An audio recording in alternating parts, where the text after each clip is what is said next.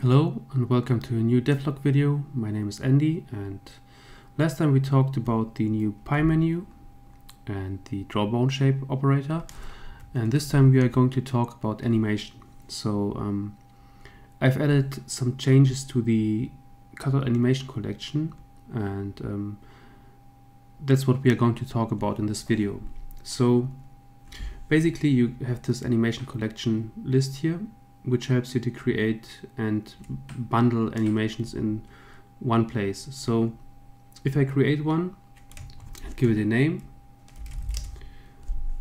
I have this collection and if I'm going to key something, it will automatically create um, the actions in the background and um, bundle them in this uh, collection name. So let's open the original file.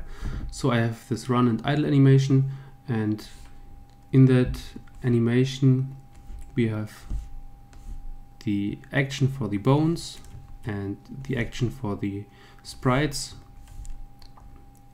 and that's it. So, but sometimes you want to have some more complex uh, animations. So let's say you have this idle animation and the run animation and you want to idle two times uh, to animate the idle animation two times and then go over to the, to the run animation.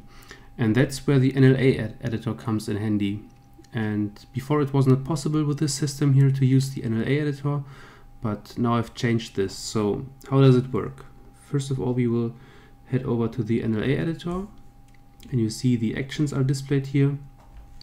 And we want to add this idle animation as an NLA strip. So just press this button here and this will let you insert a new strip at cursor location. You can add a custom um, frame here or just use the cursor. Repeat the strip, let's say two times. We don't want to scale it and we want to use auto blending. So just press OK and you see we have created new strips. So we have created the armature strip and the foot and upper body strip, which will handle the animation for that. So now we have this animation here. It jumps automatically in the NLA mode here.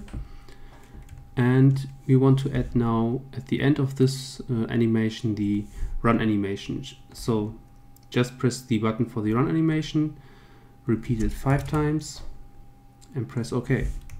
So that's it. Now we have added the idle strip and the run strip and if you play back the animation it will play back two times and then blend over to the run animation. So this pr works pretty easy. Um, if you want to edit uh, the action again we just can head over to the action mode. This will be muted and we can edit the action here as it was before. So the timelines are set automatically. So if we have this animation, it is 18 frames long and this one is 59 frames long. If we go to the NLA mode, the time is set to, uh, to, to this values here. So um, that's it. So this way we have just the action um, if we press NLA, it will go, go over to the NLA mode and play back all the strips here. We have this wrap animation playback. So this is just a small checkbox. Um, it's pretty simple. So you can play back the animation with Alt A and then it will play back. But you can also use the cursor keys. Currently, if you um, use the cursor keys, it won't loop automatically and that's what the, this checkbox is for. So just press it and it will always jump automatically back to the first frame. Okay, and finally I want to talk about um, keyframing. So keyframing, um, let's create a new action. And this will be the graph editor again. Can be done here for the sprites, or you can press the F key and just add, go to the keyframe here. So let's say you want to frame the sprite. Just select it and this prime sprite gets keyed automatically. um, we can select a few sprites. Press F and the all, all the keyframes will be set. We can delete them from here. Uh, delete and they are gone. This also works for bones now. So if we select a bone or a few bones, we can go to the add keyframes, location, rotation, scale, and you see all uh, keyframes are set automatically. We can delete them from here and they are gone.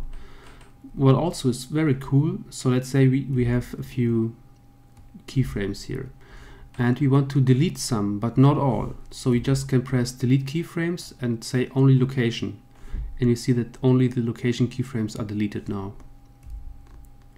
So this is also a, um, a new addition and um, to make it straightforward I've added it for the key uh, for the sprites and also for the bones so you can use this menu here to, for to, to key all the properties okay and that's it for this video.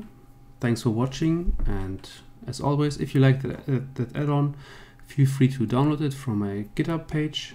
And if you want to support me you can also donate and head over to my github page. There's a donate button and share it with other people and thanks for watching. Goodbye